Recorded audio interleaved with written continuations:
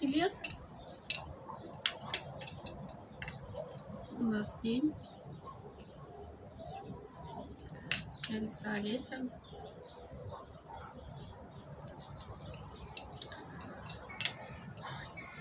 Продолжу говорить на тему интернет-зависимости.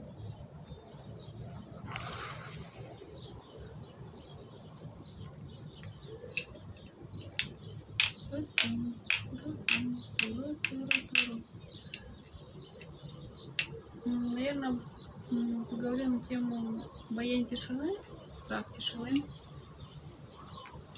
Вот. Особенно это актуально, мне кажется, в вечернее время. Раньше эту тишину заполняли телевизоры активно, да, но можно наблюдать, что телевизор, он, ну, почему он был более фоновый, да, там всегда была через каждые вот э, я не помню, но через каждые, допустим, 15 минут там обязательно была такая реклама, которая постоянно повторялась.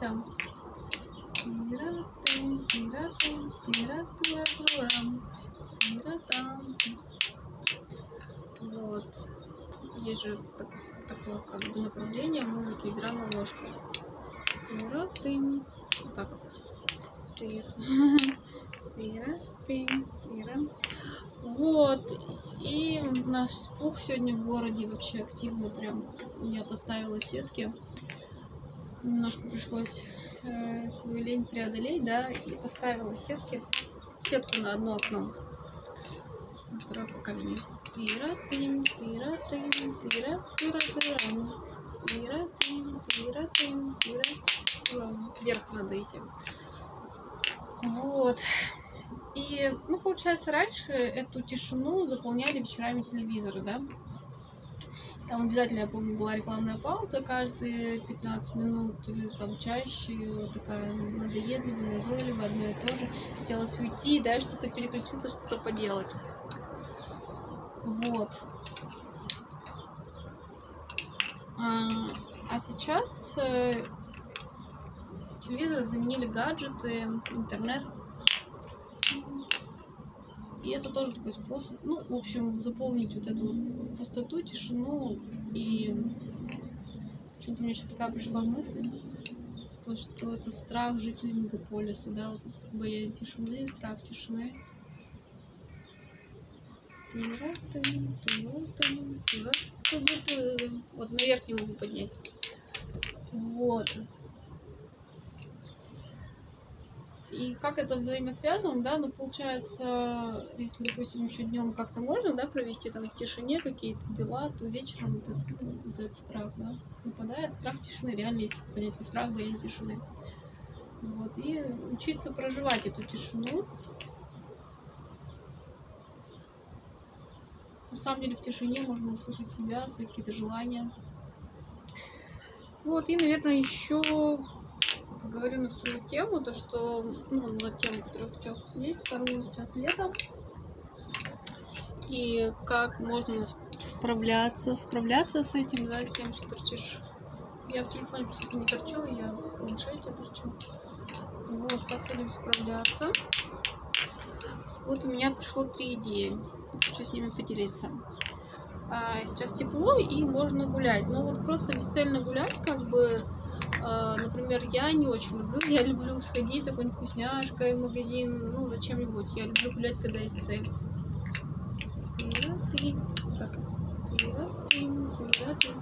Вот, и три дела, которые можно поделать, посидеть на лавочке, да, и поделать. Ну, например, вот почитать книжки. Можно почитать книжки на природе, и наполнить себя какой-то вот действительно такой интересный там, стихами. Джулия Кэмерон, художника.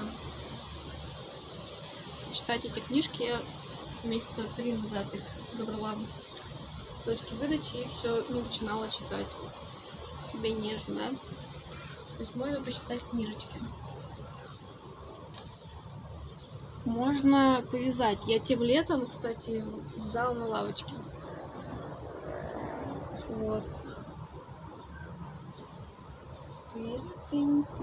Даже я знаю, есть на ютубе такие э, ролики.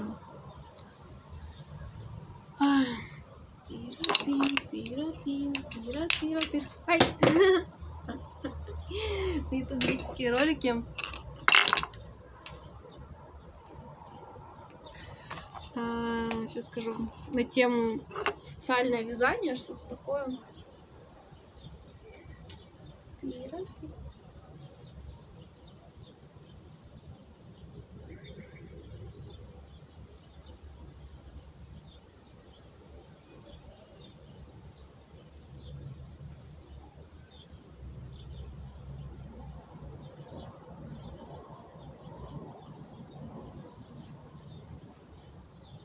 Вот. Где-то здесь заколка была. То есть, так, ну, когда вяжешь где-то э, в общественных местах, как типа смотрят люди, да, не знаю, где-то во дворе школы, мне кажется, можно спокойно повязать. Ну да, лучше, конечно, где нету ну, много людей, чтобы спокойно было. Вот, поэтому можно повязать. Вот такие вот ниточки пока, я что-то не вяжу. У меня много хобби, и я не успеваю переключаться. Вот. И, конечно же, третье интересное занятие я придумала, это порисовать скетчбуки. Вот. Желательно выбрать скетчбук с твердой вот такой обложкой. Это очень важно. И тогда можно... Вот здесь, видите, твердая обложка. Покажу ближе. Вот. И тогда можно сидеть, например, я, кстати, ну пока я вот на диване, допустим, не сижу, не рисую, но я изначально покупала для этого. Посидеть на диване, порисовать. Вот. А если говорить про природу, то у нас вообще вот в городе много парков, где можно посидеть на траве, на пледике, да, что поделать, вообще никому нет дела, да, ну, что ты там делаешь. Как у нас это очень активно в городе распространено в каких-то парках ближайших. Поэтому вот такие вот три идеи. Давай еще раз. Девочка то вязание. Можно почитать книги, которые ты давно откладывал. Например, как у меня это путь художника к себе нежно. И можно порисовать скетчбуки. Как-то так. Ну и, наверное, третью тему, которую освещу, коротенько тягом буду повторять какие-то понятия, что такое тяга. Тяга это навязчивая мысль. Вообще зависимый человек это человек с навязчивым мышлением. Вот. И даже у меня это в речи видно, да, я несколько раз повторяю одни и те же темы, я получился, мне кажется, учитель, я могу во много раз повторять одно и то же. Это на самом деле мышление такое обсессивное, навязчивое. Вот. И рад им. Так, и тяга, да, ну это навязчивые мысли. Например, открой, открой, посмотри, что там в телефоне, кто что написал, сколько просмотров. Вот, слушай, попробуй не вестись на эту тягу. Она будет ослабевать, если ты не будешь подкреплять ее каким-то действием. Да ты, да ты, да ты, вот, да ты, да да э, то она будет ослабевать, вот я тебе прям отвечаю, реально да, ты... Ну, то есть, смотри, если ты, например, тебе пришла мысль, вот, хочу залезть, посмотреть, что там в телефоне, сколько просмотров, ты берешь телефон и прикрепляешь эту тягу, то она усиливается. Ты, ты усиливаешь свое поведение. Ага. А если ты не реагируешь, можешь с ней разговаривать. Типа, привет, тяга, спасибо, что пришла, подруженька, или типа, привет, привет, разговаривай с ней, общайся пусть она будет как такой, ну, знаешь, это как арт-терапию, я сейчас тебе рассказываю, там, отдели ее от себя. Привет, подружка, там, привет, друг, спасибо, что пришел, да, спасибо, что хочешь как-то занять мое время, но сейчас я выбираю там другое. Надо, например, вот, порисовать там, или почитать книжку. Вот. И... Ну и не ведись на нее, она будет ослабевать потихоньку. Прям вот отвечаю. Отвечаю за свои слова. Отвечаю, она будет ослабевать. Вот, она будет падать.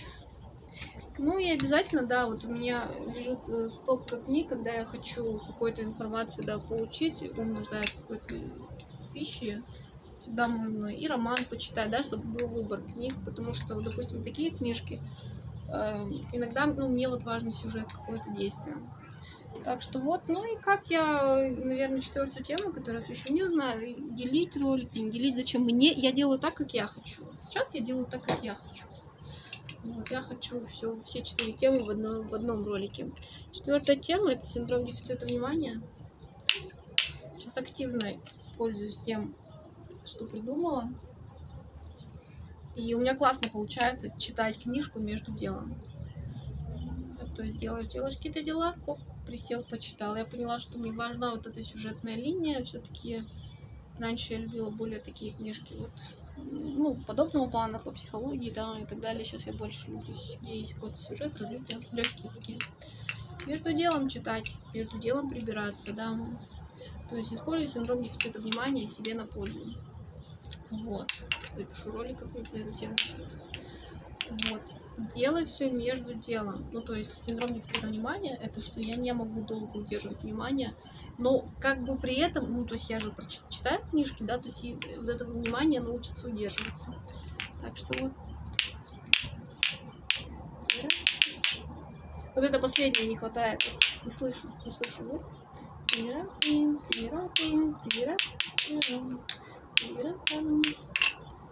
Так что вот, используй синдром дефицита внимания себе на пользу. Читай книжки, прибирайся, все как делай между делом. Как-то так, я Алиса Олеся. Да, да, у меня навязчивое мышление, поэтому я скажу, что у нас в полгороде я не поленилась и на одну раму сделала сеточку, на вторую поленилась, поленилась.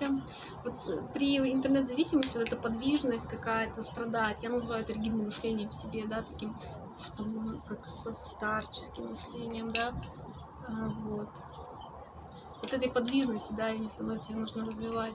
Поэтому я говорю, не надо составлять вот какие-то крупные там цели, планы. Не, ну можно, но а, вот именно в плане выздоровления от интернет-зависимости очень важно маленькие цели ставить.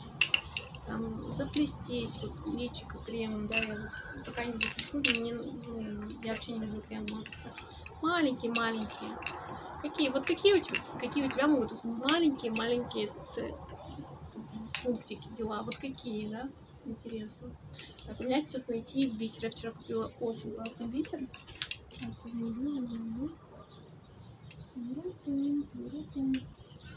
Ну, вчера купила классный бисер. Желтый, голубой. Сейчас я его найду. Так что вот. Ну что, я лисичка Олеся. Рассказываю, как справляться со своей привычкой к интернету. Ну, не, огра... не отгораживаюсь. Я сейчас против того, чтобы, знаешь, вот отгородиться, взять телефон, балалайку, как, как когда я начинала ну, с этим как-то пытаться справляться, да. Это был крутой период, да, классный, спасибо. То есть я перекладывала, например, в онлайне себе деньги дома на телефон, шла в магазин. Это было, ну, отлично, был период. Сейчас я не хочу, я хочу как бы учиться э, с этим как-то взаимодействовать. Лиса Олеся. Всем хорошего дня. А у нас пух в городе.